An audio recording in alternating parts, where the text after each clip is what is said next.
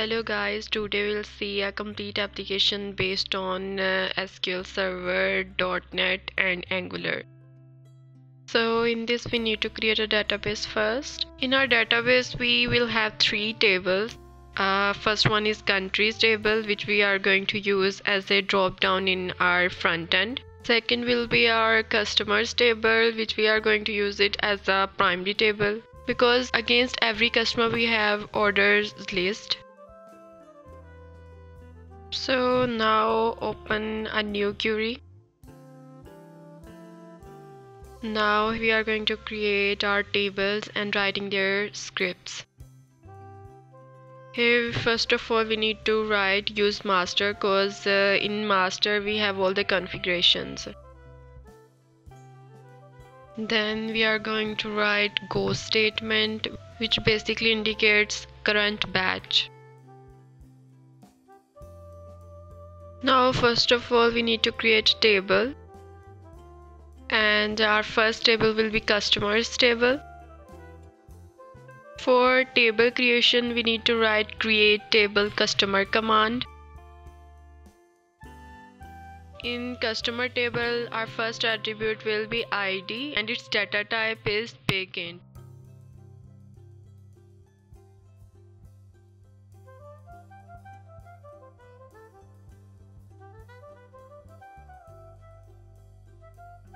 We are uh, assigning it another uh, constraint which is identity.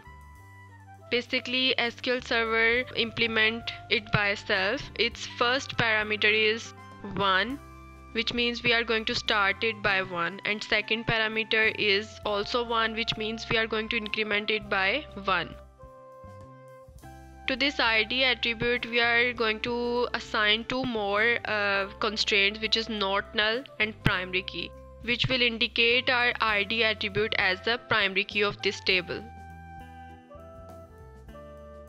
Our second attribute will be first name and uh, data type is nvarchar and uh, its length must be 100 but for string we have uh, different kind of uh, data types like character n character uh, varchar or n varchar it all depends what we need at a particular moment.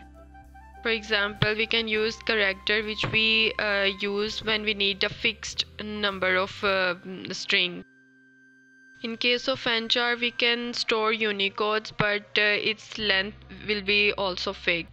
Third we can use varchar its length could vary but but its storage will be 1 byte and we can't store Unicode characters in it. Fourth will be nvarchar uh, in which length can vary and also it can store Unicode. So mostly in our database we are going to use nvarchar for our string uh, attributes. And now a third attribute will be last name and next attribute will be registration date whose data type is date time.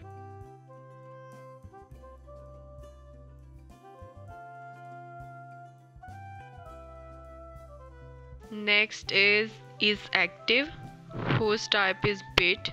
Bit will store true or false 1 or 0 in it. Okay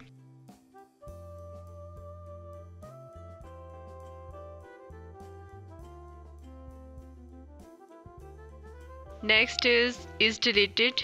Its data type is also bit. Also to bit attribute we can uh, assign default value.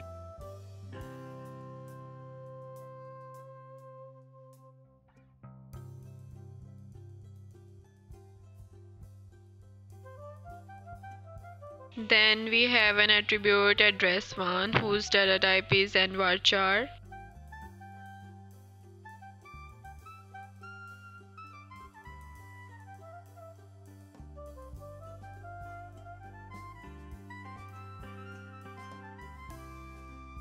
Another is address 2 whose data type is also nvarchar Then there is city.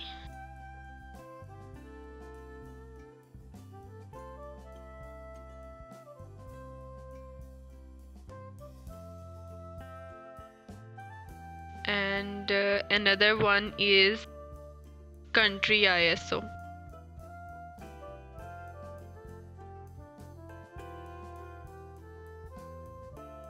Whenever we store country information then mostly we try to uh, save ISO code. And uh, for that purpose we have its data type character and its length will be 2 this is our customers table. This batch is completed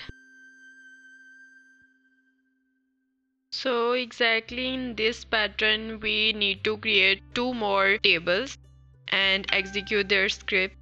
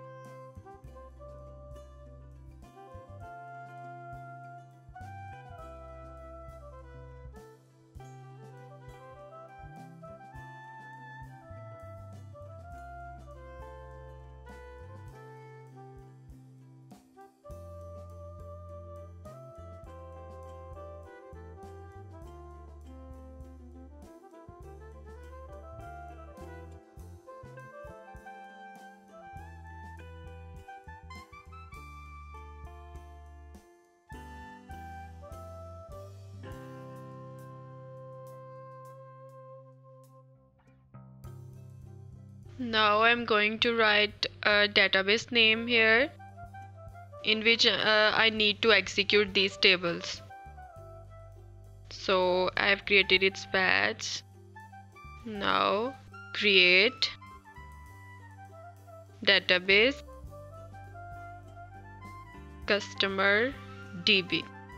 This is the name of our database in which we will execute these three tables now after creation we need to use it for record creation. Now we just execute it.